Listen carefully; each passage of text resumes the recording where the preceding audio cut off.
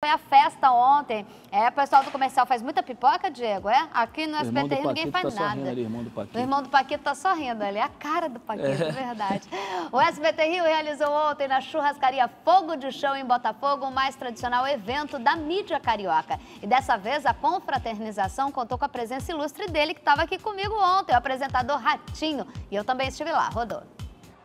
O almoço faz parte da comemoração do Dia do Mídia e reuniu dezenas de profissionais de diversas agências do Rio. Acho que é um momento importante, relaxado, em que a gente fica mais próximo, mais humano e, enfim, para ter mais um ano de, de bons negócios, de boas parcerias. Esse é o objetivo principal desse evento. O evento anual organizado pelo SBT Rio se tornou um marco no mercado carioca. E neste ano, quem se juntou ao time de estrelas do jornalismo do SBT Rio foi o Ratinho. Com toda irreverência, o apresentador veio de São Paulo e comandou a festa com a apresentadora do SBT Rio, Isabelle Benito, Liane Borges, que comanda o SBT Rio Manhã, e do SBT Esporte Rio, José Carlos Araújo. Juntos, eles animaram a festa com um game. Vai começando a separar o talento, quem tem talento aí. E vem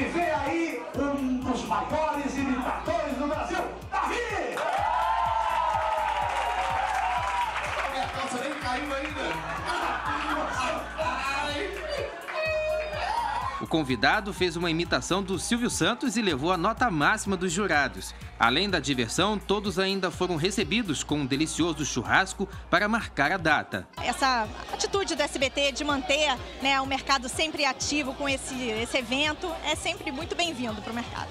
É um momento de confraternização, é um momento que o mercado e o SBT juntos comemoram independente do momento que se esteja vivendo, em momento econômico, é o momento da gente rir, é o momento da gente brincar, é o momento de estar junto, é o clima do SBT, é o clima do Rio e a gente só tem a agradecer essa parceria e que venham muitos anos pela frente. São pessoas que trabalham com a gente durante todo o ano e nós temos que agradecer, não é mesmo? Da mesma maneira, é uma, é uma via de mão dupla, né? Para eles e para nós. O SBT faz todo ano, trazendo os companheirinhos da gente, que é aqueles que, que aplicam não, na, na, na publicidade, que cuidam da publicidade, aqueles que organizam como se gasta bem ou mal o dinheiro, mas eles, quando você coloca o dinheiro na mão de um mídia, o dinheiro é bem gasto, isso vale muito a pena.